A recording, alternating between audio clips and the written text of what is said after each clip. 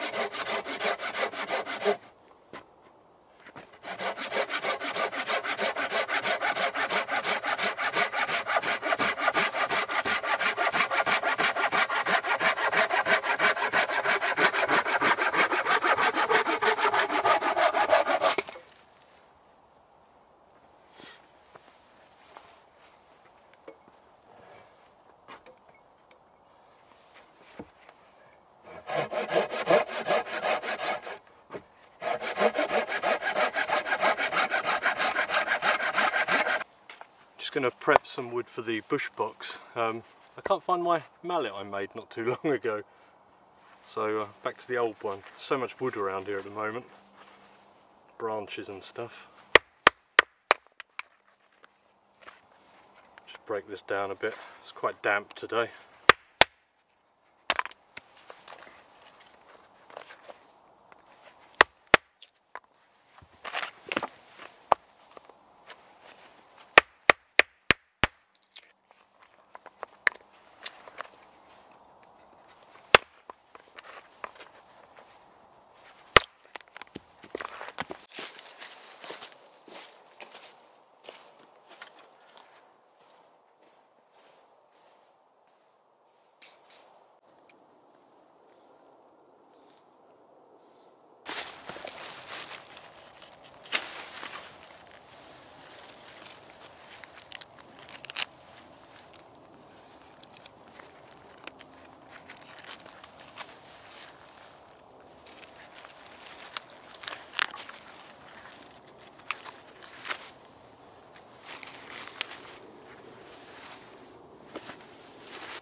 Just some uh, good old birch bark today to get the Bushbox going. Scrape that up a little bit. So much birch around here, can't not use it really.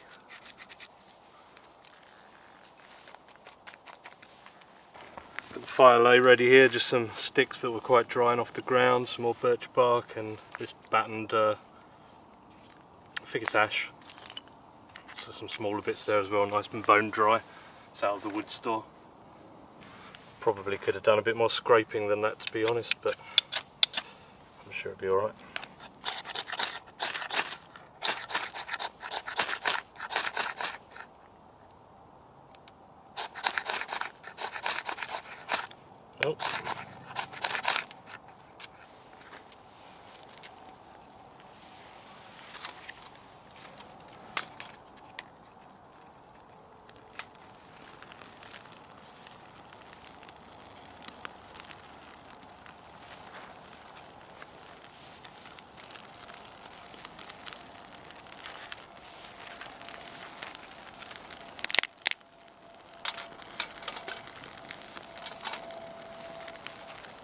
Be a helicopter going over just as I'm filming.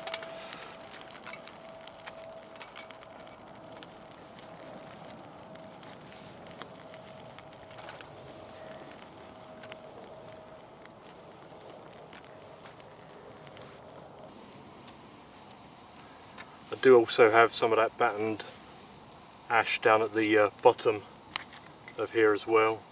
Helps create coals.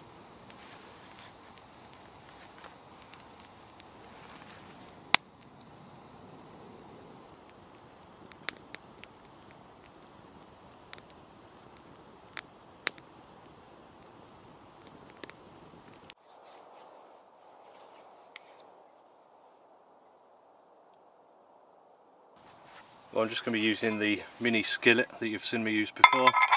Done a video on that if you've missed it, but uh, I think they sold out. And just going to do a ham and cheese toasty. So I've just got some uh, cheddar here, mature cheddar.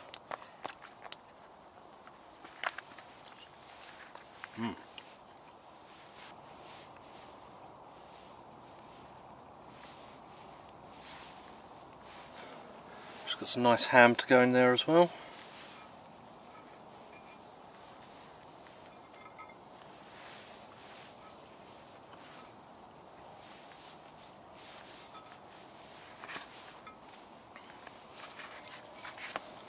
So I get the grill on heating up.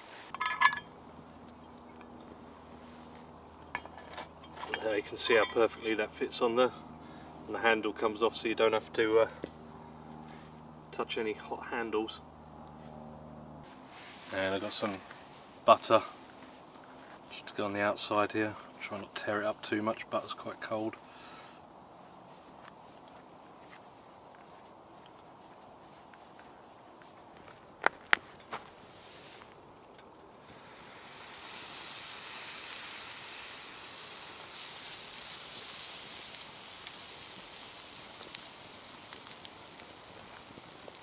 Never actually tried this before, so we'll see how it turns out.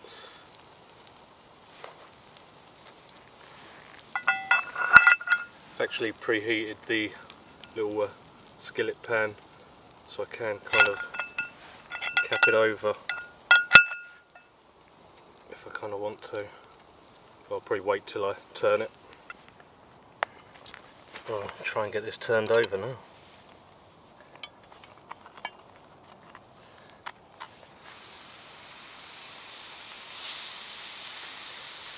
Pretty good to me.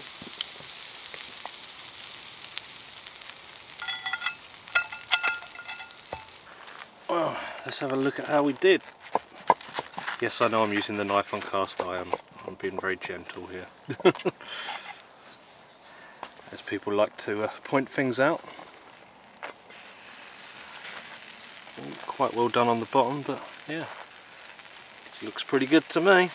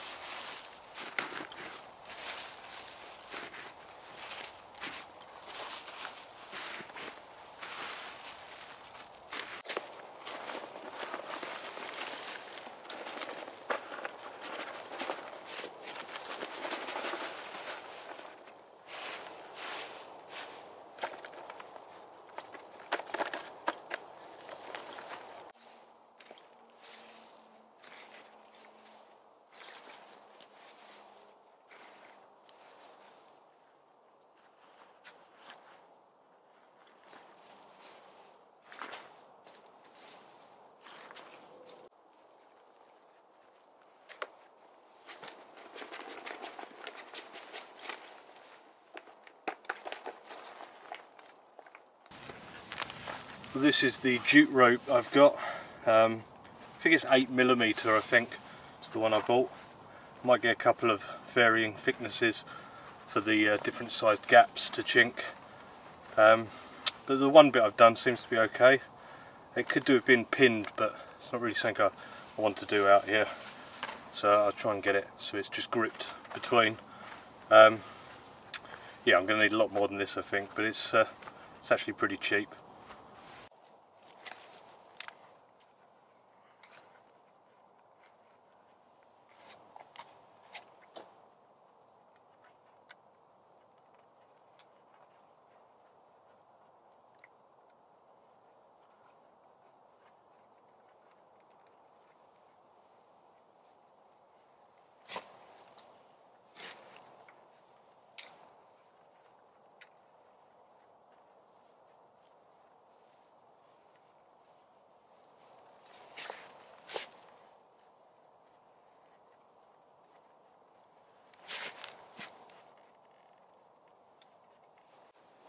Well, I'm just winding down here now. I've done a few things I wanted to, kind of reinforced the roof and disguised it a bit more, uh, covered that in debris. Uh, a few other bits strengthened. Um, this wall's pretty much done, this one just needs a couple more in it. Uh, it's getting there, did a little bit of that chinking. I'm not sure if it's going to work, we'll see. We'll see.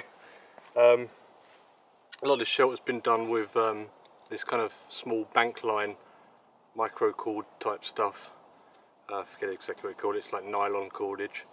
Um, goes a long way, it's very strong, does hurt your hands, so the gloves are good. But yeah, I've been using that for a lot of this build. Um, and the reason I say this roof could be temporary is because I've bought myself a froe. Um, no handle, I can make a handle up here for it. And I'd like to uh, do some shingles for it, some shakes shingles, uh, like radial ones around a log. Um, it's going to be quite a lot of work and it's going to take a lot of time, so that's why I wanted to get this up because they keep saying snow's on the way and all that. So I thought if I get this on, I don't know what time I'll get up here. Uh, so that's the reason for that. So yeah, sorry it's not been a, a, camping video today. I wanted to get up, but work obligations and everything, it's, uh, it's just not been possible.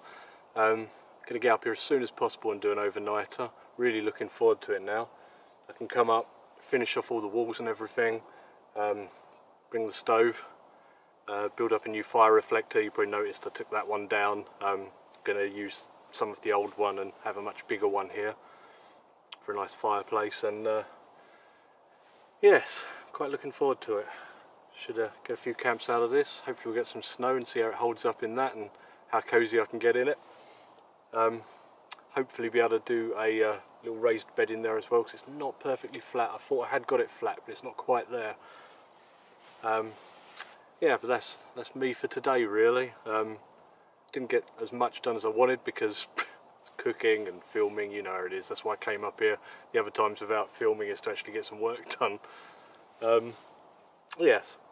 So yeah, these short days, I mean, can't, you know, be up here too late. Um, work next day and everything as well. So I shall uh, see you all soon, I'm sure. Thanks for watching, and I'll see you on the next one.